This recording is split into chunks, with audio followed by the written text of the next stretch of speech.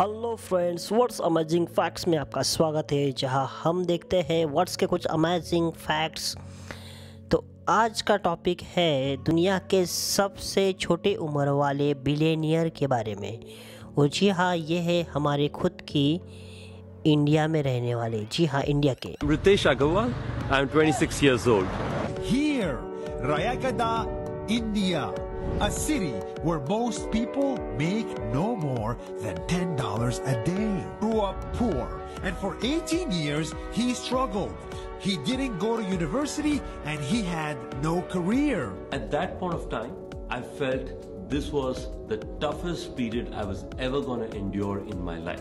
At some point, he was kicked out of his apartment with 50 cents in his bank account. So, so how the hell do you become a billionaire? Money is not what I ever cared about. It is always about solving real problems for me. And so he did. He noticed that a nearby hotel was empty a lot of the time, and the owner wasn't making much money. So he went to the owner and took the biggest risk of his life. He promised to make his hotel better. He changed the light bulbs. He changed the beds. He added water. He put picture frames. He put room service. And he took nice pictures of the hotel and put them on the internet and changed the name and called it Oyo Hotel. Of a sudden, the hotel went from empty to full and it worked. First hotel is always the hardest. When I was able to change one hotel, I was pretty sure I could change hundreds.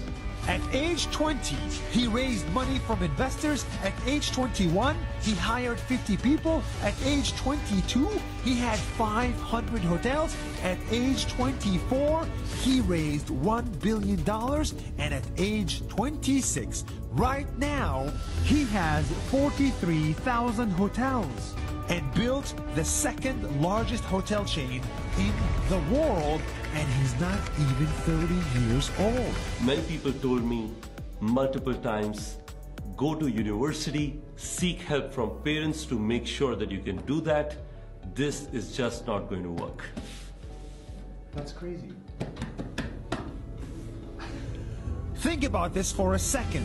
A random kid in a poor city in India with 50 cents in his bank account became the world's youngest billionaire in six years and helped 350,000 people get jobs. Night, he worked on weekends, he knocked on doors, he guessed people's emails, he begged to get meetings, and he succeeded even when all the odds were stacked against people that looked like him.